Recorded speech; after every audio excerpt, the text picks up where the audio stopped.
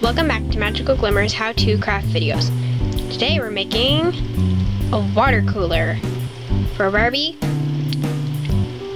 Blythe, Monster High, any small doll. Supplies you'll need are a half and a half carton, a mini water bottle, you don't have to have the cap, pencil, tape, any white paper, including scrap paper, and a ruler. Begin by removing the wrapper from the bottle.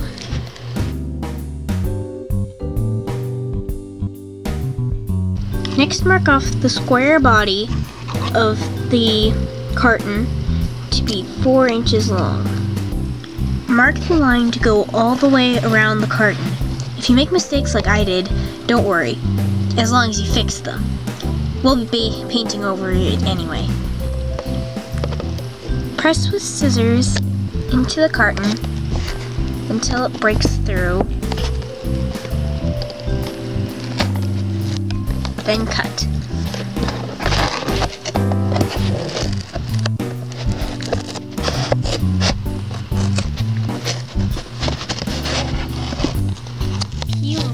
Top of your carton.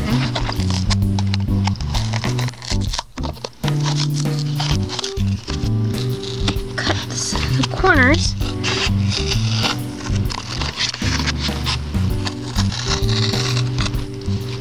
Remove the side flaps.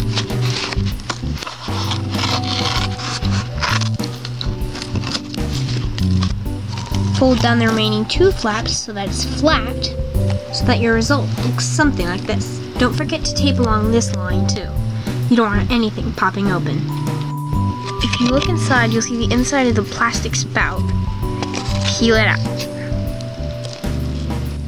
Cut the bottom off the carton and then cut a hole that's slightly smaller than that in the side of the carton that's farther away from the hole where the spout was. Slide in the piece of carton until the bottom edge is even with the bottom of the hole you cut. Glue it. As you can see, the mouth of the bottle fits perfectly into the hole we made.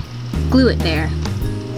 Once you've done that, you need to make the faucets, so cut the corner off a piece of paper and twist it into a cone shape.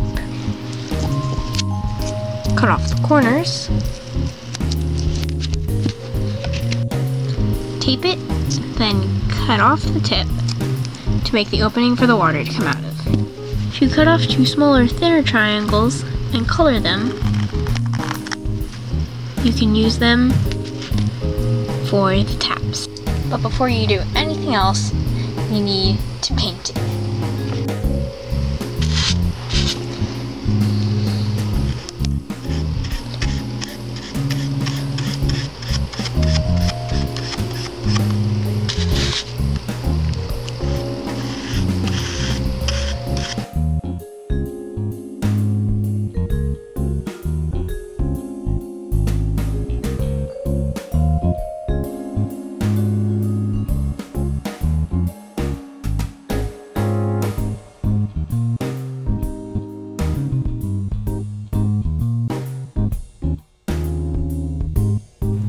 Should be what it looks like when you're done painting.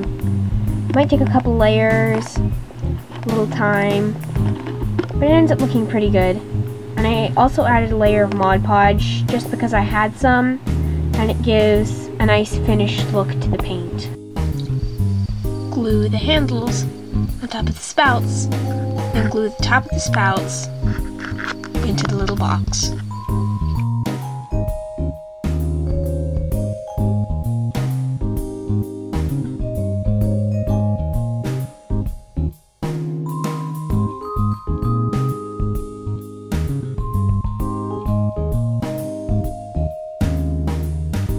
In addition, you can paint the little cap we peeled off yellow. Then you can wrap some ribbon around it or paint the ribbon on by hand.